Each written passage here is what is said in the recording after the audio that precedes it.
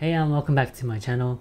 For those of you who don't know, my name is Ryuta and I primarily upload content related to photography and videography with a focus on underwater photography and wildlife as that is what I enjoy the most. In today's video I'm going to be reviewing one of my favorite lenses in my kit right now which is the Sigma 100 to 400mm zoom lens. Out of the lenses that I own right now, this is one of the lenses that I use the most and I thought it was about time that I tried to do a quick review on this lens while showing you some of the photos and videos that I've taken with this lens.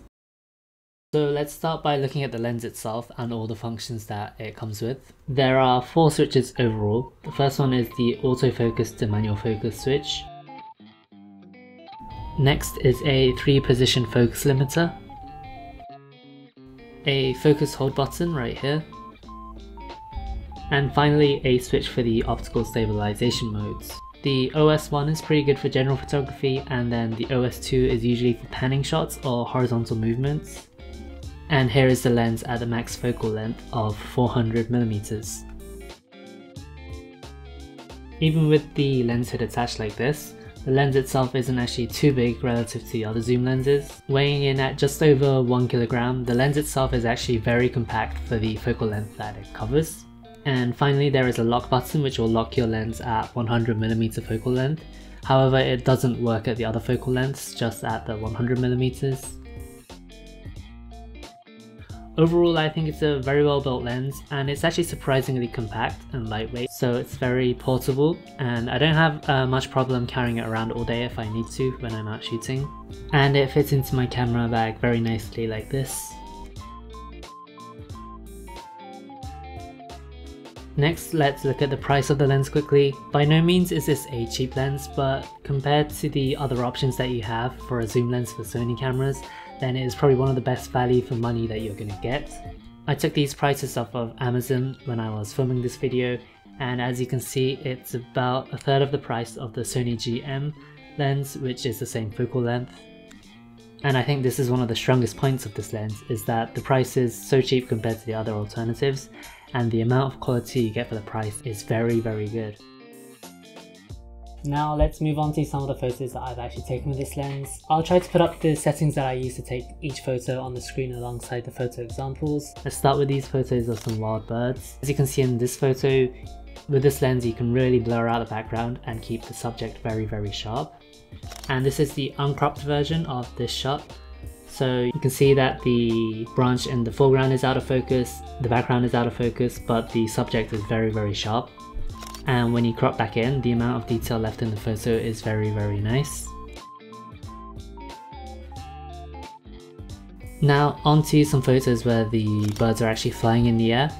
The autofocus speed on this lens is actually pretty good and I had no trouble catching up to these birds focus wise and you can see even the water droplets in the air are very sharp. Here are a couple more photos of animals in movement.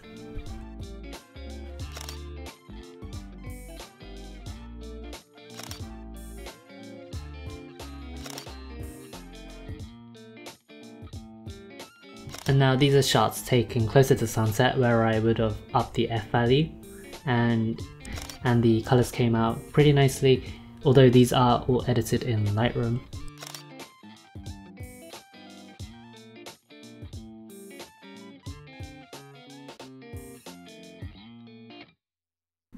Next, let's take a look at some photos I took at each of the different focal lengths of this lens.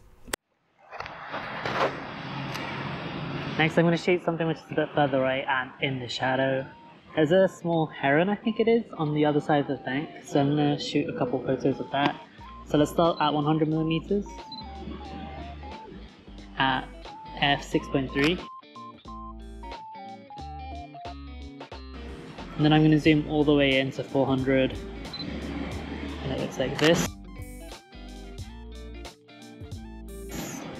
At 300 it looks like this. 200 like this. And distance, I'm not very good with like eye distance, but I think maybe just under 10 meters away.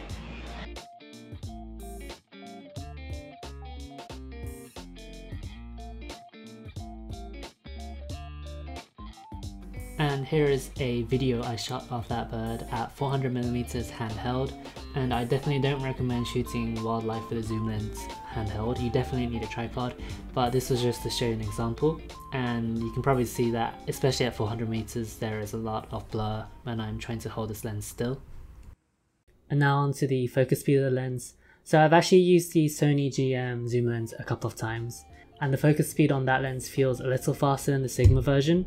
However, the focus speed on this lens is by no means slow. It's definitely fast enough to capture pictures of most animals, most wild animals, even in flight like I showed you in the pictures before. So unless you have lots of extra money lying around and you can easily afford the Sony GM lenses, I definitely think this lens is very great value for its price. And the focus speed is definitely fast, just not as fast as the Sony lens. And I think that is going to be it for this video.